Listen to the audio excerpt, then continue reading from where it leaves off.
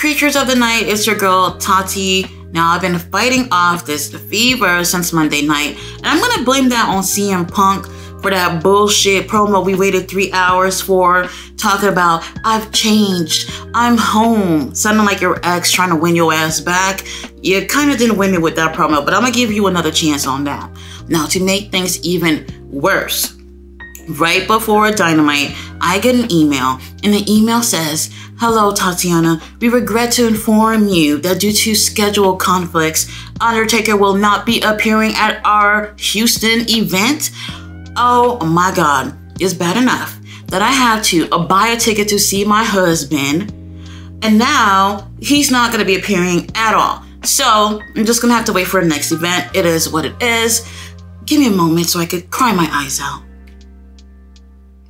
First match of the night, we have Jon Moxley versus Jay Lethal, and we do have Jon's bestie on commentary, our homie Bryan Danielson, who's sitting up there with an eye patch. Now, I love him on commentary too, and it was a little fun to have him um, throughout this tournament, giving his thoughts on things and also letting everybody know he's gonna win this. Even though he's hyping up his bestie, he's letting us know he's still gonna win the whole damn thing. And I'm starting to believe that's gonna be the case. Now, we do have a really great matchup with these two, but I think what I appreciate about this tournament is that we all know there's going to be one winner. There can only be one winner. However, I do think that this tournament is going to do some favors for some people, especially someone like um, Jay Lethal, who's been walking around uh, with um, Sonjay in them, who's always helping him cheat or whatnot, and he can do things on his own for this tournament, which I do think is going to do him some favors because now people can kind of see him a little bit more on the serious side, taken more seriously as a singles competitor, competitor rather than having a whole bunch of idiots beside him helping him win. Um, and that's a Jay Lethal that I want to see right now, and I'm hoping um, after that tournament we get to see bigger and better things with him, and he can just drop these idiots um, while they're there. Great matchup for an opener. Um, I, I felt like right from the bat, there's just no way Jay Lethal's going to win. This kind of this this tournament kind of feel like this is going towards uh, Moxley or, or Bryan Danielson, one of those bigger guys going to end up taking this. So I don't really see Jay Lethal um, winning this whole thing. But like I said, this tournament can do some favors for him and a couple of others on here. Moxley obviously takes the win. And um, you know what? I'm interested in seeing um, what's going to come uh, from this tournament for some of these guys. Uh, I don't really know whatever's going to happen in terms of when you win, what happens with the titles and all that stuff. But we are getting some matchups that we've never seen before with some of these combinations of guys. So that does make me feel a little bit more hyped about the tournament. Now, after that, we have a clip from Eddie Kingston from la uh, last weekend. Um, after his match with Brody King, he lost. He lost like by a lot. I mean, Brody was dominating that whole damn thing. And um, to be honest, Eddie kind of sounds a little defeated, but then he goes, win or loss, he's humble, and he's gonna get himself ready to go against Bryan Danielson for um, Collision this weekend. Now, after that little promo thing of him crying, here come Bryan Danielson on commentary cutting his promo, talking about he's not humble in defeat, he's not humble in victory, he's gonna win this whole damn thing, and he doesn't give a damn what anyone has to say about that. And um, also, he had operation and all that stuff, and despite him being um, you know, healing up from the operation and obviously that orbital bone break, he's going to take the win. And you know what? It's sounding predictable, and I'm not really liking that. So now we have Tony Schiavone with Sting and Ric Flair. They're announcing the location of the Revolution pay-per-view for next year. This is important uh, because Sting's going to be having his last match on there. And Tony Khan, being a huge ass wrestling mark, has gotten a venue in Greensboro, North Carolina. Now, this is um, definitely an iconic choice because Ric Flair and Sting had their iconic match back in 1988, Clash of the Champions, and everyone remember such an iconic match between the two of these um, guys. So they're obviously revisiting that place, and that's supposed to make that moment for Sting next year um, a little bit more iconic and special for him. So great job, Tony Khan, for getting such um, you know amazing thing like this for Sting. Um, we have Tony Schiavone who's standing between both of these guys like a schoolgirl, just like oh my God, Sting, oh my God, Ric. Like he just be doing the most. And he, let me just say this: I totally get it Tony. I am just like you. If I was standing in between two icons, I would be doing the same thing. I don't like you, Ric, but I would be doing the same thing. So I totally understand where he's coming from. Now, after this, we have another match on the tournament. Rush versus uh, Mark Briscoe. Another great match on here. And, you know, I was looking at this and I'm just like, damn, like, Mark, I don't see you winning this one. But Mark still, you know, gives Rush a really great fight. I am loving Rush a little bit more every time I see him in the ring. He just have that personality in the ring where it's just like, oh my God, I could just watch you all day. You're just so amazing. He absolutely love what he does and you can tell he loves what he does. Same thing with Mark Briscoe too, but Rush, I'm rooting for you not to win this whole thing, but I'm rooting for you to have a great career. How about that? I still want Swerve to take this whole thing. Great matchup, but we do have Rush taking the win, and I'm totally fine with that. So he has three points. Um, Jon Moxley, I forgot to say, he has six points now because he just had um, another win. So every win, it's uh, three points, and if it's a draw, you each get one point. Great matchup. Now after this, we do have Toni Storm she's back there. We have RJ City, um, who's talking to her, and she's with Luther and Mariah May. Mariah is holding her title, and Toni Storm looked like she just been celebrating ever since she won the damn um, AEW Women's title. And RJ City lets her know that she has a match um, coming up next week, but she ain't bothered. She a champion. She know how to defend herself. She cool. Now, a little bit later on in the show, RJ is with Mariah May, and Mariah is saying that she wants the AEW uh, fans to see what she's all about, and she wants an opportunity to get in the ring. So she's standing in front of Tony Khan's office. She goes in there so she can get her opportunity. Don't be surprised if next week we see Mariah versus Toni Storm for the title, obviously. So now we have our scumbag, MJF, who makes it to the ring. He is still walking around with that cane. And he comes into the ring and he says a lot of amazing things about Samoa Joe, you know, giving him his flowers. And the crowd is chanting for Samoa Joe. And I'm just like, damn, this is the type of shit that I love to see.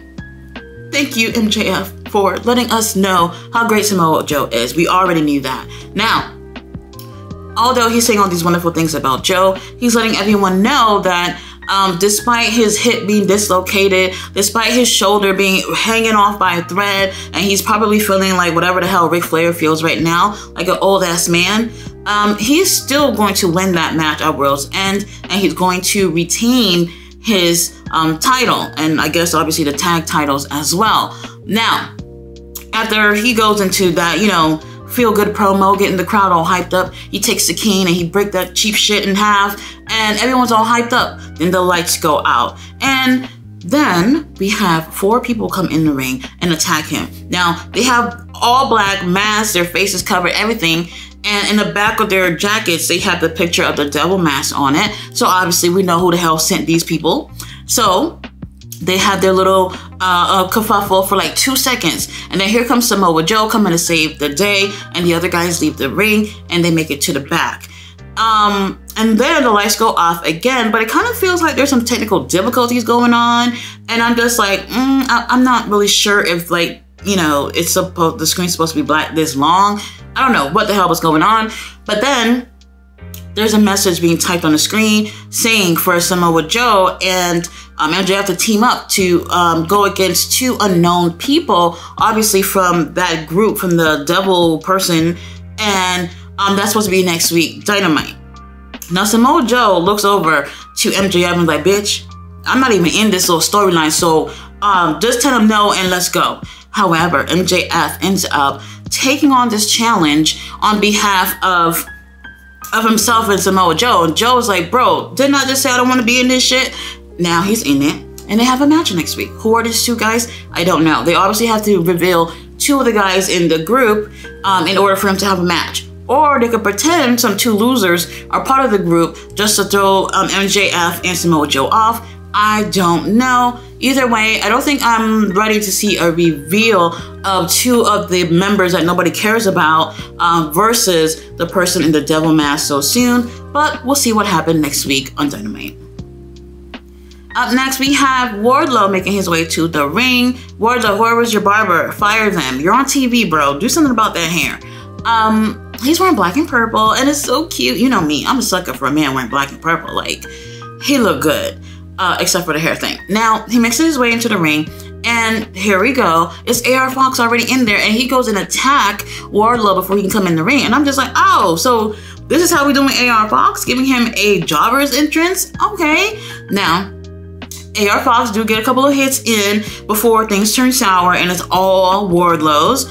And by the time they both get into the ring, the ref rings the bell, and Wardlow was in control pretty much that whole time. And I'm just like, after what I've seen, from AR Fox. You want me to believe that AR Fox is going to be defenseless in this whole damn match? I couldn't even believe it. Now, I've been saying Wardlow needs a credible opponent, not some local jobber or someone they picked off the street who wouldn't mind getting in the ring for a couple of bucks. Um, they put him with someone as good as AR Fox. Um, I don't think we've ever seen the best of Wardlow, so I can't say that um, AR Fox is necessarily better than Wardlow, but he's better than Wardlow. Now, like I said, uh, AR Fox is defenseless here, and after uh, a really nice senton from um, Wardlow, as big as his ass is, uh, we get a couple of power bombs, and then he headbutts AR Fox, and then the ref decides to, uh, you know, have them call off the match, ring the damn bell. This shit is over. Wardlow makes it to the back. Now, like I said, I wanted him to have a credible opponent. Sure, AR Fox is, but AR Fox didn't do anything. So they're still trying to do this thing where it's like Wardlow's invincible, whatever, no matter who he gets in the ring with, he's going to damn near kill them. And honestly, I, I, I don't know. I want to see you actually wrestle, not do a couple of power bombs and a senton and it's over. I need more. Give a girl some more. Now, right after that, before our trios match, um, they're letting us know Dante Martin is back. And they're going to go and air uh, that injury that Dante had at Supercard of Honor show earlier this year, where he broke that ankle. And they said, well, we're going to air it, but everyone please turn away. Please don't watch this, but we're putting it on. So don't watch this. And they put it on. And I'm just like, well, well, thank you for the warning. I already knew how gruesome this was, so I didn't look. But for everyone else, if you didn't take their warning to not watch this, then you saw a really horrible injury. So now we got trios action. We got Top Flight and Action Andretti versus the Hardys and Brother Zay. And I'm just like, great. Y'all don't really have trios. We don't know where the hell the trios champs are at. And um why not bother the Hardys and take them away from their children and, and, and put them on on Wednesday night? So we get the Hardys and Brother Zay in a pretty fun match uh, with Top Flight and Action Andretti. And I'm not gonna lie, throughout this match, I kept feeling a little bit nervous. Every time I see Dante in the ring, I'm just like, oh my god, every little flip, every little dip, every little whip, I'm just like, oh, please, please be careful. We don't wanna see you get hurt again or anyone else getting hurt again, especially like that. Now, obviously, we got two babyface teams going at it or whatever. However, we knew what this was about. This was about showing that Dante is no longer handicapped and that he can still wrestle and we got a chance to see Dante uh, teaming up with Action Andretti, which we have not seen since he's been gone. That whole trio's got great chemistry. Um, Tony Khan, keep them together for a little bit before you break them up at some point or whatever. I would actually like to see these guys all together as a trios. You guys already know who won it was um, Top Flight and Action Andretti. Now after this, they are about to celebrate or whatever with uh, an interview, and then here comes Penta, who interrupts, and you know he looks at Dante. Now it was Penta was the one that gave him that Canadian destroyer onto the ladder, onto those tables, and, and you know the leg break and everything like that. They give each other dabs or whatever, and then he goes, "Well, it's three of y'all." I got two other friends too. So here comes Komander and El Hijo de Vikingo. Now, we got ourselves another trios match. I don't think they said when it's gonna happen, but I'm looking at this and I'm like, all right, this is gonna be Cirque du Soleil type of situation, and I'm okay with that. I wanna see all six of these guys in the ring. It's gonna be fire. Maybe we might get that uh, next week on Dynamite. And like I said, Dante, please, please be careful with all these flipping and shit. We don't want another break. Up next, we have the TBS title on the line Emi Sakura versus Julia Hart. And this is a house rules match. And I was like, wait a minute, is this the first time Julia has her own house rules match? We've always seen that um, with the other members of the House of Black, but the first time we're seeing Julia having a match like this. So this was definitely a nice touch for her. So Emi Sakura chose the rules to be that um, no one can win via submission. Obviously, meaning that Julia cannot use her Hartless to win. However, she uses the Hartless in this match and I was thinking, oh, did, did we forget we're not supposed to do that? Because what was the point anyway? She did, she does it, and it's cool or whatever. Um, but she ends up winning with a moonsault. And I did enjoy this. Emi, I enjoy seeing her in the ring and not in like um despite her losing, she's not looking like a jobber. She looks really great. And whoever she's in the ring with, she always makes sure that they look great too. And I want to see more from Emi as well. I would not mind seeing some gold on her at some point in her career. I do know she's like more in, I think her mid to late 40s and she's still doing her thing. And I really do enjoy her. So somewhere down the line, I would love to see some uh, um, a title on her at least once but Julia, she's doing her thing, and I really enjoy what we're seeing here. Tony Khan, you've helped made uh, some really great booking choices for Julia for her to get to where she's at right now. We need some more of those great choices for some of these other girls in the back that can definitely use some really great opportunities. Great match with these ladies. So now we have our stepdaddy Christian in the ring. He has the weakest security guard team I've seen in my life. I can go to Walgreens and feel protected by one of those little 70 year old men that they be having standing by the door. Um, they just look like random people that was chosen off the street. I'm just like, who are these people? Like for real, guys. Did you guys see those people on the security team? They they ain't saving nobody tonight. Now, Christian is calling out Adam for him to come out he calls him several times, and Adam is keeping him waiting. And I'm just like, damn, Adam, like he's really saying it nicely. Can we just come out and just hear what he has to say? Now, Adam comes out, and um, he actually standing in the ring, and all that um, you know, loser security team is standing in front of Christian. The Christian's like, you know, you know what? Y'all can go. Y'all useless anyway. You guys can go. I'll, I'll take you from here. Now, he's talking to Adam, and he tells Adam He's sorry. He apologizes. Now, the crowd, they ain't buying it. They're chanting out bullshit, bullshit. And I'm just like, hold on. Can we just give him a chance and hear what he has to say? Now, here is Edge standing there, and he is looking like a snack. And I'm just looking at him, and I'm just like, that t shirt, the whole fit you got going on here is selling it to me. I wear similar clothes, so if I had that t-shirt, I could be looking cute in it too. I might buy it. Now, Christian, he says, after seeing what Adam did to uh, our poor Luchasaurus, I mean, Killswitch, on Collision, um, he got into his car and he started driving. Then he started reminiscing about their childhood and their career together and how much great times that they had and how they were great as a tag team and that they're not just friends, they're brothers and how, you know, Adam don't got no daddy, but Christian's dad was like a father to him and you know part of his life. And even till this day christian dad is still adam's number one fan. And i'm just like oh my god like he's really really really getting to our heart right now.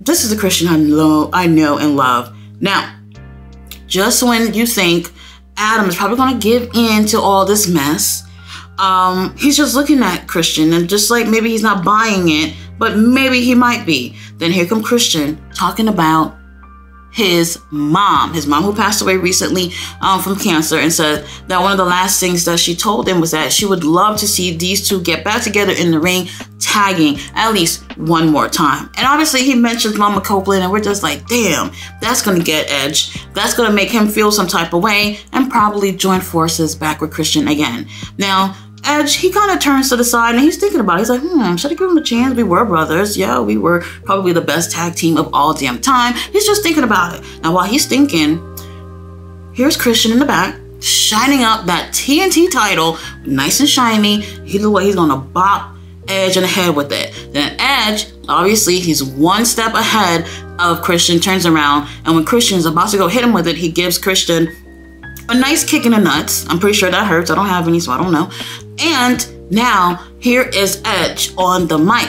And he told him to go fuck himself and he's gonna take that TNT title from him next week on Dynamite. And to be honest, I don't know why we're doing this match so soon, but it is what it is. And I really did love this moment. This moment really, really showed something about Christian. Like, Christian, he has some damn range. Get this guy a freaking movie or something. He is absolutely phenomenal, and I love him. Adam, you're cool too.